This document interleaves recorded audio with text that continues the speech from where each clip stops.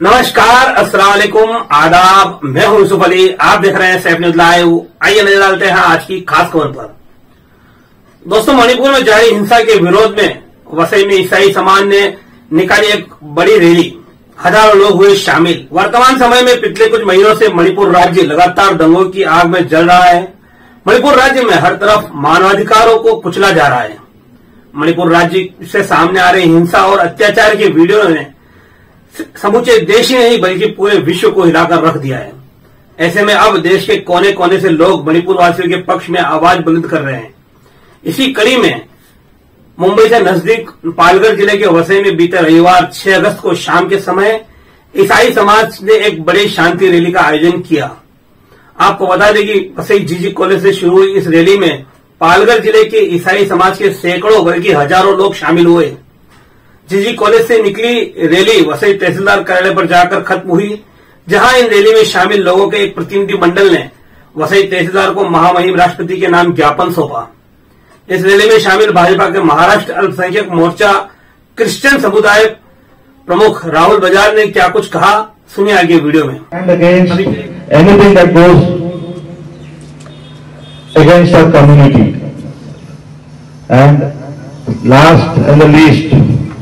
We assure you, just uh, when we when I came here, Rahul had given me a request letter. I represent the government of Maharashtra. We assure you that uh, the leaders are talking internally. It has been a past, from the past 20, 30 days, we are talking internally with the government. And rest assured, action will be taken. The government is with us, is with the community and with the people of India. So, rest assured and we assure you that action will be taken soon. Thank you.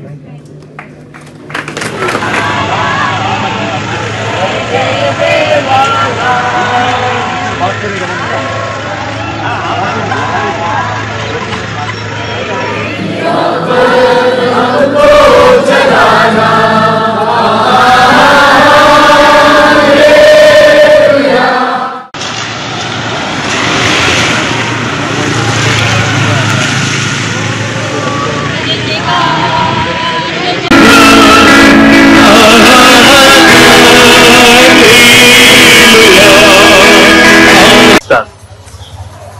Maharashtra मैं राहुल बजाज, भाजपा, अल्पसंख्यक मोर्चा, प्रदेश उपाध्यक्ष Christian समुदाय की तरफ़ से।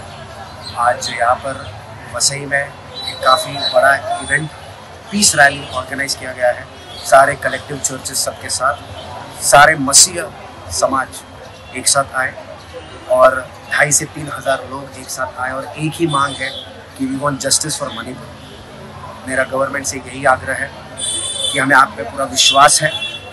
अब तक देश को संभाले रखा है, आगे भी संभाल कर रखना है। गवर्नमेंट से यही एक अनुग्रह है कि आप इसमें जल्द से जल्द दोषियों को सजा दें इंटरवेन करें और फिर से मणिपुर शांति का राज्य बने पूरा भारत के साथ। और मणिपुर के वासियों को मैं मैसेज देना चाहता हूँ, हम आपके साथ हैं, हम आपके लिए दुआ कर रहे प्रार्थना करें हर समय।